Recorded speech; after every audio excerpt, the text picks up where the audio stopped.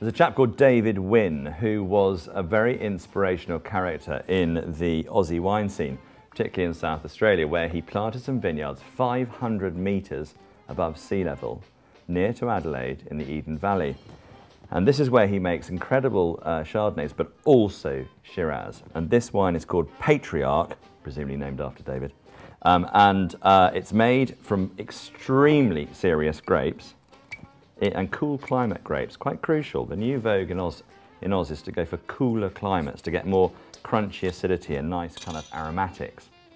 And what you get, and this is going to, you're not going to believe these statistics, is you get a wine that is crunchy and fresh and as, as sort of energetic as the wines made in France, the home of Shiraz or Syrah. But you get um, 20 months spent in new French oak barrels, which is a recipe that only the most expensive French Syrahs get.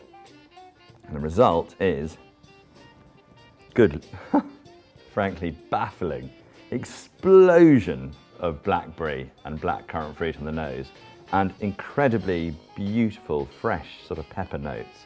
Now, um, I know this sounds ridiculous, but this, is, this one's 15 pounds, okay? But this is a flavour that you would associate with some of the greatest, greatest Côte Rôties and Hermitage from the Northern Rhone.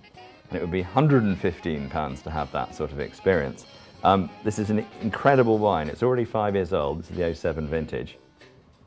We're very lucky to have some stock. There's beautiful notes. Now it's opening up. A little bit of eucalyptus mint.